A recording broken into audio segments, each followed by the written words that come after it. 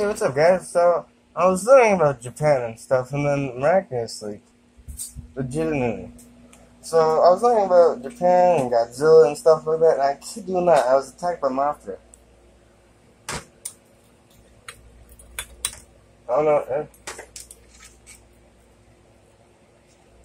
That is just crazy. I I legitimately was doing like Godzilla and Japan, Japanese research, and I found and a moth flew in. So yeah,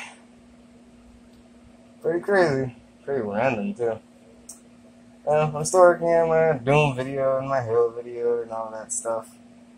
So this is Ryan SRT64 over now. Also, Instagram followers, please go check my YouTube channel out. It's this. it's Orion S R2D264, the exact same as my username. Just instead of an underscore, put a space. So, alright, this is Orion S R2D264. Over now.